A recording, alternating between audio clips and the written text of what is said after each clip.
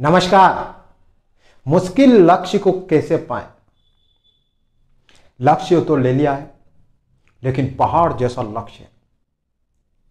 आपको लग रहा है कि यार मैंने जो मेरा टारगेट डिसाइड किया है, वो बहुत बड़ा है। मैं उसे पूरा नहीं कर पाऊँगा। मैंने अपनी एबिलिटी देख के लिया तो था, लेकिन अब वो लक्ष्य बहुत पहाड़ बन चुका है। उस पहाड़ को कैसे तोड़ो?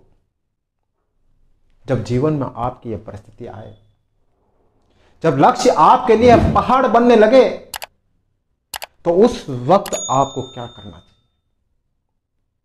उस लक्ष्य को पाने के लिए क्या करना चाहिए? सबसे पहले तो आपको उस लक्ष्य को पाने के लिए निरंतरता रखनी होगी कंसिस्टेंसी रखनी होगी। ध्यान रखना, कोई भी लक्ष्य रातों रात नहीं पाया जाता। उसके लिए कम से कम आपको 10 साल देने पड़ते हैं। कोई बड़ा लक्ष्य होता है ना, उसको पाने के लिए 10 साल देने पड़ते हैं। तकरीबन बहुत सारे ऐसे भी एग्ज़ाम्पल हैं, जहाँ 15 15 20 20 साल के बाद इंसान उस स्टेज पर आता है जो उसने सोचा है। तो आपने कोई लक्ष्य लिया है तो आप यूँ क्यों देखें कि एक साल, दो साल, तीन साल में मैं अचीव कर लूँगा? किसी भी प्रोडक्ट का ब्रांड बनता है तो ब्रांड बनने में वर्षों लगते हैं।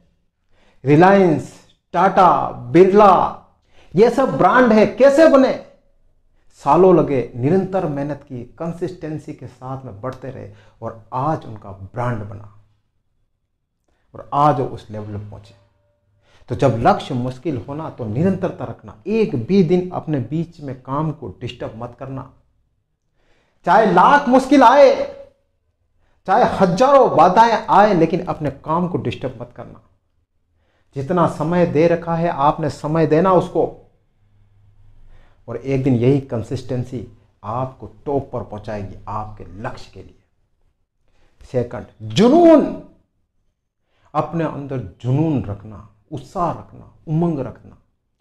कभी कभी क्या होता है कि जब लक्ष्य बड़ा होता है और थोड़ा टाइम लगता है, साल, चार साल, पाँच साल, दस साल तो इंसान के अंदर जुनून खत्म होने लगता है। शुरू शुरू में तो रहता है, फिर बाद में जुनून खत्म होने लगता है। उत्साह खत्म होने लगती है, उमंग खत्म होने लगती है। डेफिनेटली ह्यूमन नेचर है धीरे धीरे खत्म होने लगती है। लेकिन आप अपने मन में उत्साह, उमंग और जोश और जुनून कम मत होने देना। एकलव्य एकलव्य के पास कोई गुरु था? नहीं था। उसका लक्ष्य कितना था? पहाड़ जैसा था।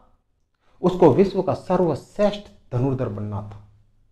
तो कैसे बना? पता है वो आपको? अपने अंदर जुनून पैदा किया और कंसिस्टेंसी रोज उसका वर्क था कि रोज मुझे अभ्यास करना है, अभ्यास करना है, रोज अभ्यास करना वो सारे काम छोड़ देता, लेकिन अभ्यास करना नहीं छोड़ता। उसको पता था कि मेरा कोई गुरु नहीं है तो मुझे मेरी ही अभ्यास की ताकत मुझे गुरु बनाएगी। मैं जितना अभ्यास करता रहूँगा करता रहूँगा और यही अभ्यास एक दिन मुझे गुरु बना देगी। इस तीरंदाजी में। और क्या हुआ? एकलव्य विश्व का सर्वश्रेष्ठ धनुधर बना। कैसे? निरंतरता और जुनून, जोश, उमंग पर बल पर। और थर्ड धैर्य रखना।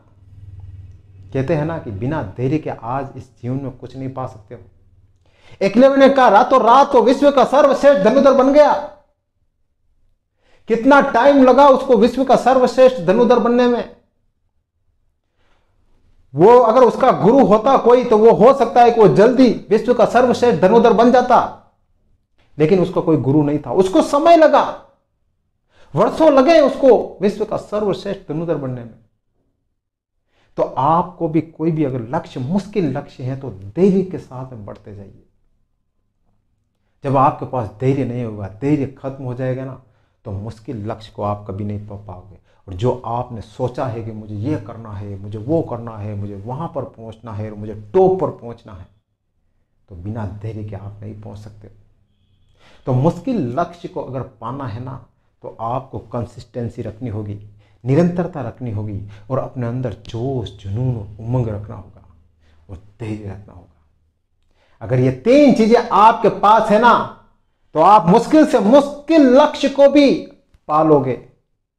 चाहे वह लक्ष्य पहाड़ से भी बड़ा क्यों ना हो। अगर ये तीन चीज़ें आपके पास है, निरंतरता, जुनून और धैर्य तो आप दुनिया की किसी भी ताकत को हरा सकते